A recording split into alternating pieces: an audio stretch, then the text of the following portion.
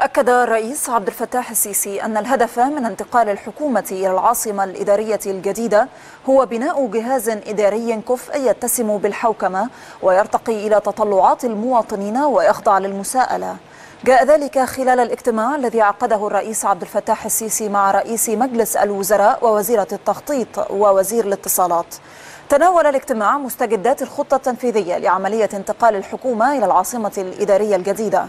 وطلع السيسي خلال الاجتماع على خطوات إطلاق الصندوق السيادي صندوق مصر حيث وجه في هذا الصدد بأن يساهم الصندوق في إدارة أصول الدولة وتعظيم قيمتها وإقامة شراكات جديدة مع القطاع الخاص المحلي والأجنبية